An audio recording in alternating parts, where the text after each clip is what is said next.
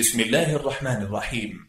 المكتبة الصوتية لمعالي الشيخ الدكتور صالح بن فوزان الفوزان. شرح كتاب الملخص الفقهي من الفقه الإسلامي للدكتور صالح بن فوزان الفوزان.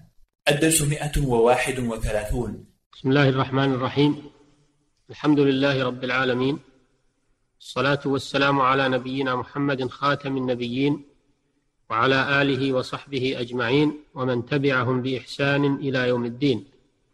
أما بعد أيها الإخوة المستمعون السلام عليكم ورحمة الله وبركاته.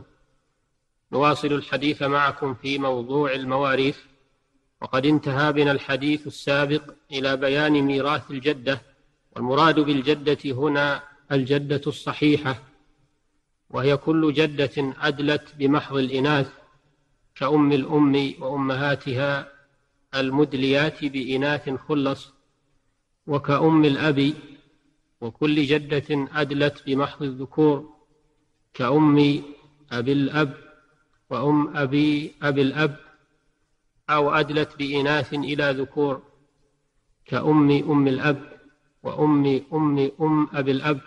أما الجدة المدلية بذكور إلى إناث كأم أبي الأم وأم أبي أم الأب فهذه لا ترث لأنها من ذوي الأرحام. فضابط الجدة الوارثة إذن كل من أدلت بإناث خلص أو بذكور خلص أو بإناث إلى ذكور.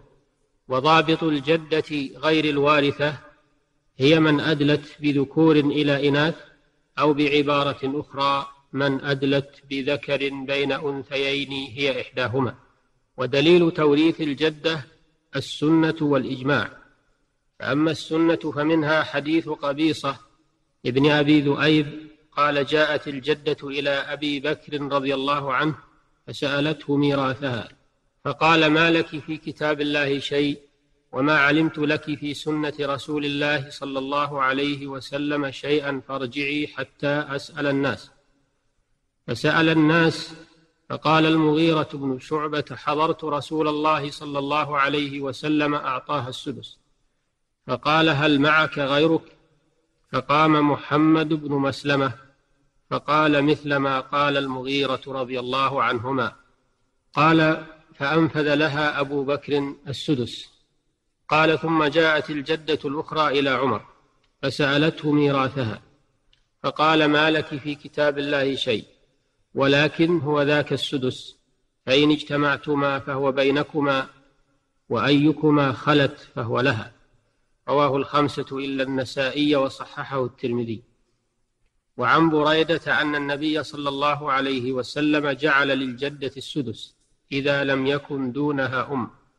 رواه أبو داود وصححه ابن السكن وابن خزيمة وابن الجارود.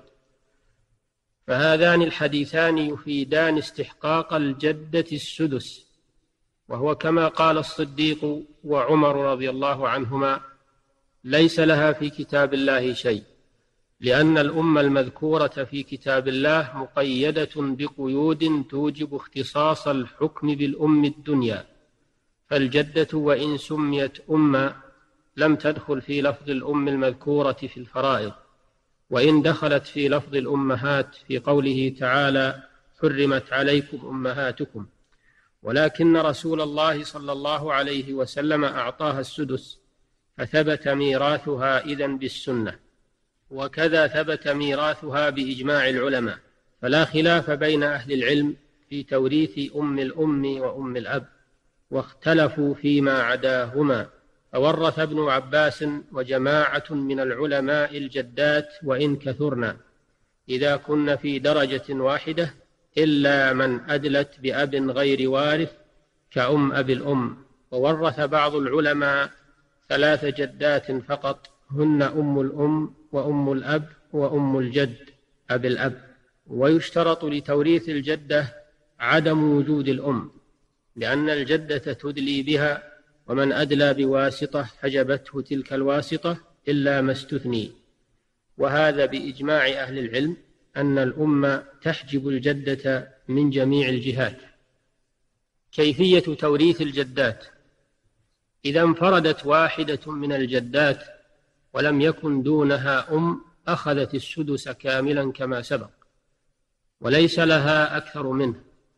والقول بأن لها الثلث عند عدم الولد وعدم الجمع من الإخوة كالأم قول شاذ لا يعول عليه.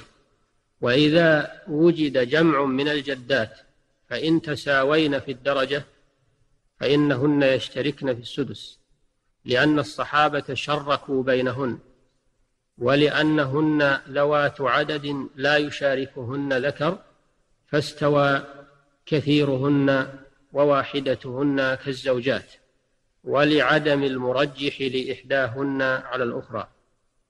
ومن قربت منهن إلى الميت فالسدس لها وحدها سواء كانت من جهة الأم أو من جهة الأب وتسقط البعد لأنهن أمهات يرثن ميراثا واحدا فإذا اجتمعن مع اختلاف الدرجة فالميراث لأقربهن.